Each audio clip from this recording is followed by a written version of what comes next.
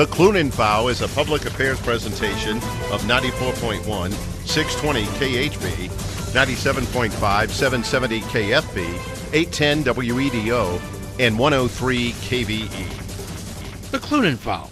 With Eric O'Brien at the engineer's desk, I'm Pat Cloonan, opening the book on matters of interest in Pittsburgh's southeastern suburbs. This week, let freedom sing. January the 15th marks the 88th birthday of the Reverend Dr. Martin Luther King Jr., civil rights leader who rose onto the national scene as leader of a bus boycott after the arrest of Rosa Parks in Montgomery, Alabama in 1955.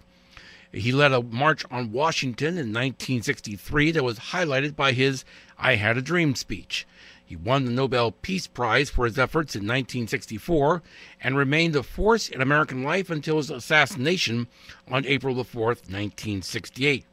By 1971, cities and states began observing his birthday as a holiday. In 1983, President Ronald Reagan signed legislation establishing a federal holiday, which by 1992 was set on the third Monday of January. It will be marked this year on January the 16th. Meanwhile, on January the 14th at 7 p.m. at the Ebenezer Baptist Church in the Hill District, and on January the 16th at 7 p.m. at the Byham Theater in downtown Pittsburgh, the 10th annual Let Freedom Sing. And to talk more about that is uh, one of the organizers and one of the leaders of, of it, uh, Kris Rust, who is the music minister at the Allegheny United University, uh, Allegheny Unitarian Universalist Church in Pittsburgh on Pittsburgh's north side. And as I said, one of the volunteers who have put together this program over the past 10 years. Kris, welcome to the Cloonan File. Well, thank you for having me. And thank you for being here. As I said, uh, January the 14th at 7 p.m. at the Ebenezer Baptist Church, and then January the 16th at the Byham Theater. Why two performances? Well, uh, you know, double the pleasure, double the fun.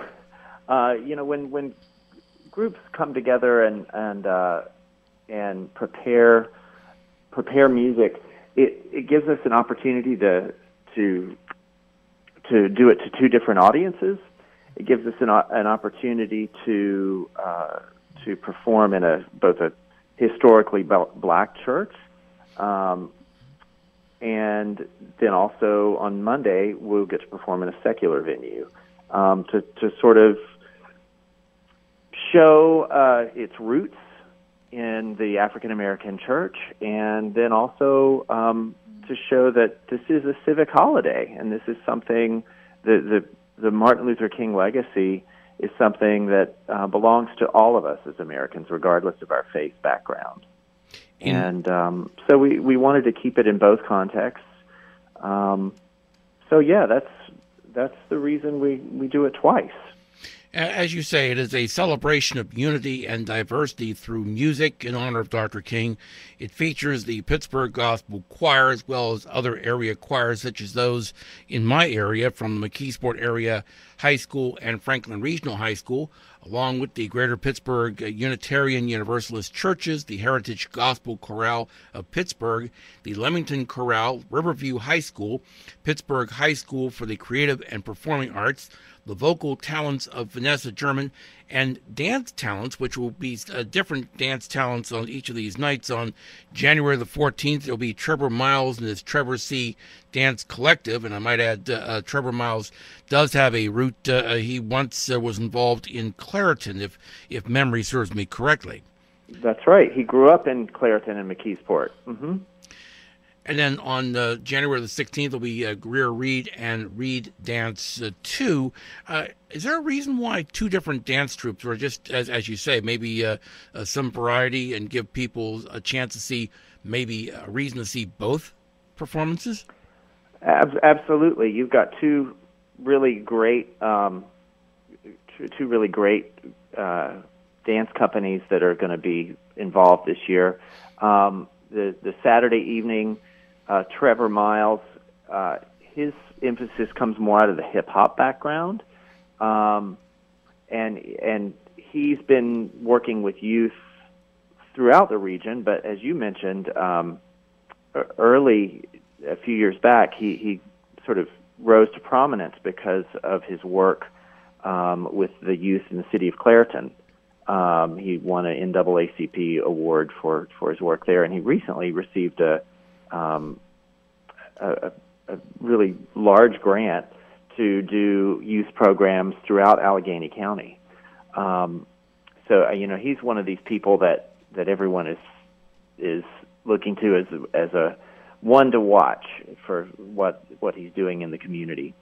And then uh, Greer Reed, who's going to be performing, uh, or her dance company is going to be performing on uh, Monday evening. Um, she she's coming at it from more of a modern dance perspective, um, and of course in, informed by um, by African American dance traditions. Um, you know, Greer Greer is a celebrated um, and a seasoned artist who's who's been in Pittsburgh and doing great work for for many many years. Um, you know, she was a she was a member of the the Alvin Ailey Dance Company in New York, and um, you know has has quite an extensive background in terms of her formal training and her experience and uh, many of us got to enjoy the August Wilson Center dance ensemble, um, which was which was in existence from 2009 to um, 2000. Uh, gosh, for for I think four years, um, and uh, before the before the closing of the the August Wilson Dance uh, August Wilson Center. Um, and that group won national acclaim. They were cited by um, the National Dance Magazine as as uh, one of the top 25 groups to work to watch in 2012. So she's she's uh, she's done incredible work. They performed with us at Let Freedom Sing before, um, and uh, you know we're really looking forward to her performance on Monday at the Byham. Um, you know, Trevor's group is he's more of an up and coming guy coming out of the the, the hip hop tradition, self taught. Um, so very different experiences, but I think they're both going to be great. Uh, tell you a little more about Trevor Miles, if I may. As you say, self-taught uh, powerhouse artist. Um, he began dancing at age 17, and after trying African and modern dance, he quickly began to develop his own style. It's a hip hop uh, dominated the early years of his career as he created signature routines and stories of depth, and that's D E P T H, depth. Uh, he, uh, as he connected with other dancers across the region, he also began teaching a variety of sites, such as the Urban Pathways Charter School, which I believe is in Pittsburgh, uh, the mm-hmm. Thelma Lovette YW, YMCA, I should say, and as you mentioned, the Clairton City School District. You yourself have a, a route uh, here in the eastern suburbs uh, uh, in a school district too, if, if, if, if I read correctly in some of the. That's readings. right. You were at Franklin Regional. Tell me about that. Yeah, so I was at Franklin Regional for 21 years. Um, and uh, so I got to know the Murrysville community, Murrysville Export in Delmont, um, right over the county line in Westmoreland County. I uh, got to know the eastern suburbs and the, the, the communities in Westmoreland County during my time there. Um, yeah, and it was a great experience. I am now at uh, Point Park University and at the Allegheny Unitarian Universalist Church. Um, but I'm happy to say that Franklin Regional is going to continue to um, to participate this year. Um, my the the person who took took the role as the high school choral director. Her name is Kelly Newstead.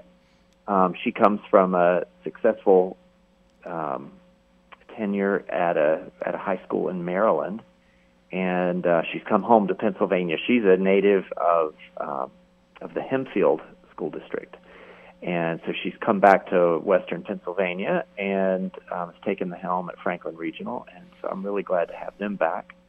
Um, you know, and part of part of the reason that I that I uh, started Let Freedom Sing so many years ago was working in in the suburbs, but also in the city. I, I just felt like um, the the Martin Luther King holiday was sort of regarded as a a random day off, and and I felt like you know here we have this amazing American hero in the person of Martin Luther King, and uh, and all that he stood for means so much to me, and I think to to most Americans, I think we embrace the, the values that he stood for of um, uh, overcoming segregation, bringing people together, celebrating diversity, fighting against poverty, um, fighting for peace in our world. In summation, uh, as you put it, uh, a vision of brotherhood. Yes, exactly, and and I think this is these are values that that um, that we need to embrace and and lift up every chance we get. And what better time to do it than on the, the national holiday set aside for, for doing exactly that. So I wanted to see us do more, and I and I um, I've always felt like like segregation is a huge problem even today in our country. If you if you look at our our own region, um, our communities are segregated along racial lines, along economic lines, um, along lines of ideology. And, uh, you know, I think the only way we overcome that is by intentionally bringing ourselves together. And so, for at least this one weekend, um, we we do that. We bring uh, we bring singers from across the region. We bring audience members together, um, and that all started. Uh, those that vision um, was one I cultivated with my co-founders Dr. Herbert Jones and Vanessa German um, 10 years ago, uh, you know, while I was the, the director of choirs at Franklin Regional High School. So it was a, you know, bringing that suburban perspective um, in with a urban perspective and bringing communities together. Kris Rust, who is the music minister at the Allegheny Unitarian Universalist Church, and as I mentioned, he's a, as he mentioned, a former uh, choir director at Franklin Regional High School, which is one of the high schools which is involved in Let Freedom Sing, which will take place on January the 14th at the Ebenezer Baptist Church in the Hill District, and on January the 16th at the Byham Theater in downtown Pittsburgh. He is my guest on this edition of the Cloonan File. And uh, one more angle to this area, if, if, I may, Kris, is the fact that um, uh, the admission is uh, very simply uh, what you uh, want to give at, at least a dollar, uh, more we would hope, uh, toward mm-hmm. the Greater Pittsburgh Community Food Bank, which is in Duquesne, and the Westmoreland County Food Bank in Delmont, which uh, gets a lot of volunteer effort from this area. Why the food banks?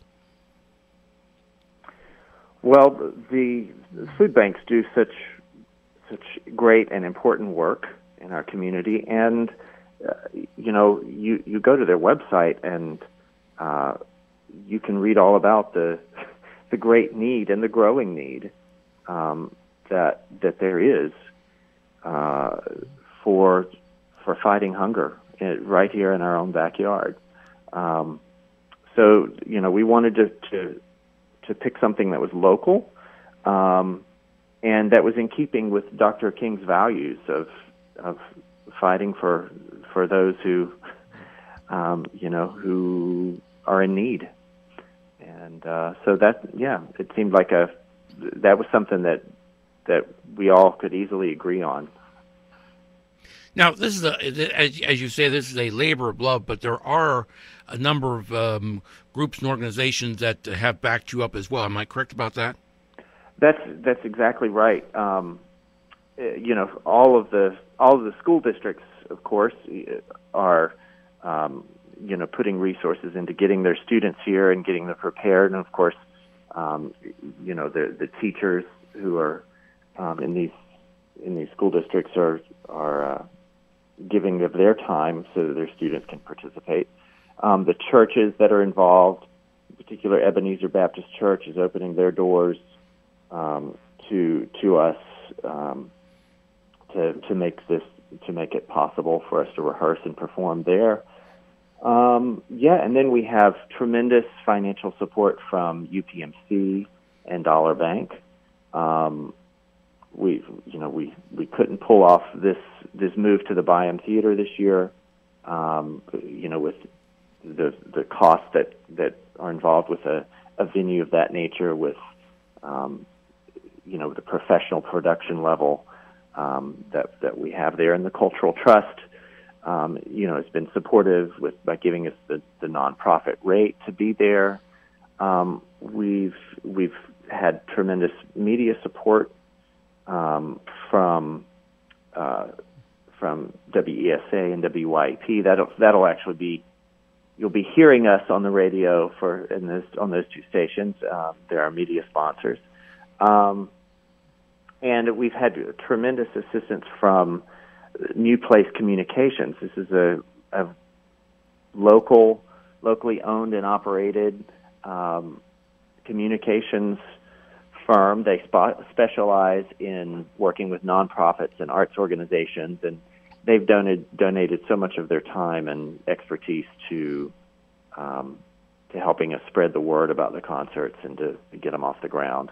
Um, and then, not to mention all of the professional artists, um, you know, Greer Reed and Trevor Miles, um, and of course my co-collaborators, um, Dr. Herbert Jones and Vanessa German, um, highly sought after artists, um, but who artists who believe in what we're doing enough to, to donate their time to, to be part me, of this and to really make it something wonderful. Can you tell me a bit more about? Uh, well, let's start with uh, your uh, the two uh, people that you're working with. Uh, tell me a little bit about Vanessa German and tell me about uh, Dr. Herbert as well. Would you please? Sure, sure. So Vanessa German is an amazing force in the in first in the Pittsburgh community, but really, um, she has in recent years she has gotten nationwide acclaim both for her uh, for her visual art. She's primarily a sculptor, um, and also for her for performance art. She's a spoken word artist, a poet. Um, she has uh, she's her work has been um, included in recent Smithsonian exhibitions. She just this year um, was the featured artist in a solo exhibition of um, at at the Wadsworth Atheneum Museum of Art in Hartford, Connecticut, and uh, that museum is is famous for identifying sort of the next great talent, if you will, on, on the uh, national art scene. Um, you know, they they're they're one of the first museums to have shown the, the work of Andy Warhol um, 40 years ago. Um, so she's really getting all kinds of national recognition for her for her visual art, but also for her performance art. She's been invited to um, to Harvard and to MIT and to give TED talks all over the country to, to speak and to address um, address crowds all over the country. Um, so we're we're so fortunate to have her here in Pittsburgh. She's uh, she lives and works in Homewood. Um, she founded the Art House in Homewood and the Love Front Porch movement, and with that, the the Art House is a is a place where where children and youth um, they can come after school and during the summer um, to create art. She creates a safe space um, and a, um, a stimulating space that that students can come. She she provides materials um, and cookies um, and uh, fresh fruit. They they they've started growing vegetables there. Um, it's just a wonderful, wonderful thing, thing that she's doing in Homewood um, to, to spread the appreciation for art. Um, so we're so fortunate to have her. She does an amazing job channeling Martin Luther King, um, who we all know was a great orator. Everyone's heard the the uh, "I Have a Dream" speech, um, but but Vanessa has listened to dozens of his speeches, and um, you know she she repurposes his words um, to, to give them a new structure and uh, new meaning for, for our concerts. She does an amazing job. She she transitions between musical selections and um, and and uh, is inspiring to everyone. Now, doc- Dr. Jones, um, did you have a, something? no, no, no, no. I was, I was going to ask that? you about your other collaborator, but you were you were going Yeah. ahead. I appreciate that. Yeah, yeah. Dr. Jones, uh, he's the director of the Heritage Gospel Chorale of Pittsburgh. Um, so another another Pittsburgh treasure that we have in uh, in Dr. Jones. He has uh, he has his doctorate in choral music from the University of Mississippi. He worked all across the South and still goes back uh, to the South to do choral workshops. He travels um, to the Midwest and really all over the country um, doing workshops on African American music. Um, he he's, he's a, one of the leading experts on African American choral music um, in our country, um, and it's it's an amazing experience for you know the singers to get to to come and and work with him for an afternoon, um, and and he pulls the he pulls the the performance together um, there in, in in one afternoon. Quite an amazing individual. As mentioned, there's a number of uh, scholastic um, uh, choirs involved. The Pittsburgh High School for the Creative and Performing Arts, Riverview High School, Franklin Regional, uh, McKeesport area. What typically uh, might one of these uh, choirs be doing um, in either performance? Um, uh, are, are, is, it, is it a joint performance or are these individual performances? Tell me about it. Yeah, it's a it's a joint performance. Um, the the Heritage Gospel Chorale, they are the the lead choir. That's Dr. Dr. Jones's choir, and that group, uh, that group is the only uh, the the only community based uh, ensemble that is sort of dedicated to the, the broad range of African American music. That's their mission. Um, and, and that's a group that, that Dr. Jones founded um, just a few years ago. And uh, they are sort of our core group, core choral group, if you will, um, for the concert. And they will perform a, a set of, of choral pieces at the, at the first part of the program. Um, but the, the concert will conclude uh, with a, a, a performance by a huge choir made up of singers from all the cho- all the choirs that you've mentioned, um, the the high school choirs, the um, the church choirs, um, and the Heritage Gospel Choir, and and I have to also give a shout out to the Leamington Chorale, Please do. which will which will be joining us, and that group is uh, directed by um, the Mon Valley native and personality Derek Tynes.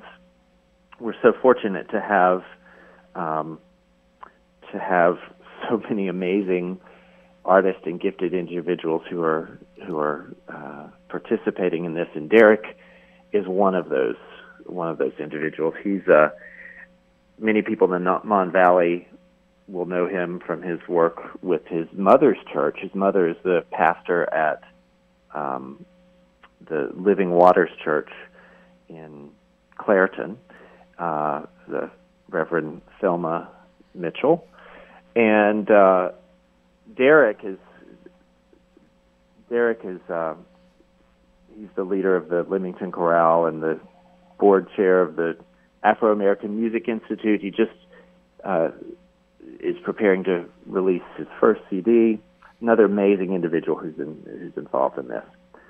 So um, anyway, these all these choirs come down come together at the end of the concert, and we uh, we do a, a big finale. We'll we'll perform five choral selections, um, and uh, it, it's it's a wonderful thing to to see such a diverse group from 14 year olds to 90 year olds um, on stage from all different backgrounds and communities um, across our region, and to to see them come together on on Saturday the 14th, rehearse together for three hours, um, and then get up on stage uh, on the evenings of the 14th and the 16th. It's a, just a, a beautiful thing what they're what, what they're able to do in just a short time. Now, uh, a question here is uh, you um, as I as I said, it's, it's a free will offering uh, a dollar plus. Well, it's not really a free will, but I mean they're asking you to at least bring one dollar for these food banks and hopefully more. Um, mm-hmm. it, it, I'm, I'm presuming that, that this is a um, the door is open and uh, there's no advance ticket sale per se. That's that's actually not quite true for um, the Byham concert. Let me explain the, the the, the concert on the 14th at Ebenezer Baptist Church um, you are exactly right. The doors are open. People will come in, seat themselves, and we will take up an offering um, in the at, during the course of the concert. Um, the uh, the concert at the Byham is being handled through the Cultural Trust, just like any event. So people can go online. They can pick their seats. The uh, the least expensive seats, as you pointed out, are one dollar. Um, but if people are willing to donate more, and we hope they will, um, they can they can choose a more expensive seat. Um, so you will need a ticket to get into the concert at the Byham Theater. Um, you can purchase it in advance by going to the uh, Cultural Trust website, um, or you can call the, the Cultural Trust box office, um, which is 412 456 6666. Would you repeat that phone number? Sure.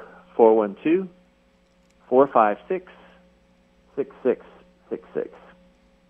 Um, but you can also just show up on the night of the concert and buy your ticket there at the Byham Theater box office um, and, and, do it that way. Now, um, can you get a link to the uh, Cultural Trust through your website, which I think is, if memory serves me correctly, it's letfreedomsing.net. Um, net. Dot net. Thank you. Um, right. Yes.